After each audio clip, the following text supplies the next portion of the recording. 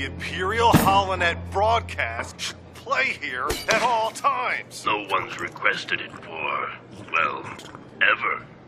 It's the law.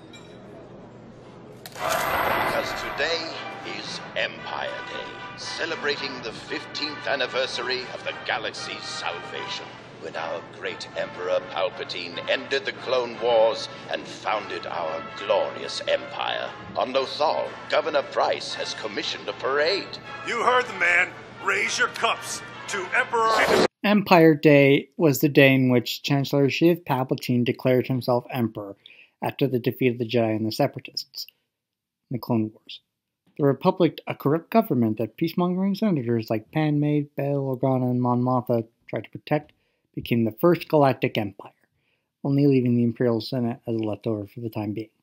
It was celebrated throughout various empire worlds like Coruscant, its capital, and the Outer Rim. Places like Lothal and Thabeska had celebrations, the latter of which was where Ahsoka Tano was staying after she and Rex faked their deaths. It was also the time in which regional governors of the empire showed off their newest TIE fighters and work in their regional sectors. ATDPs and other anti-mechs marched in a parade to an upbeat version of the Imperial March, with a Holonet news broadcast showing Palps giving a speech of led without his scars sustained during his fight with Mace Windu. For those buying the propaganda, it was decent to say the least. It was also mandatory to attend, as well as showing happiness, which Taskmaster Myles Grint was not afraid to enforce. However, the parade was attacked by the Lothal rebels during their search for Tseebo. Regardless, it was a fun holiday to celebrate. Even the people in the Outer Rim worlds found it underwhelming, despite propaganda freedom otherwise.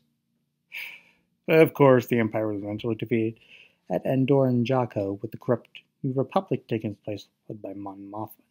Yes.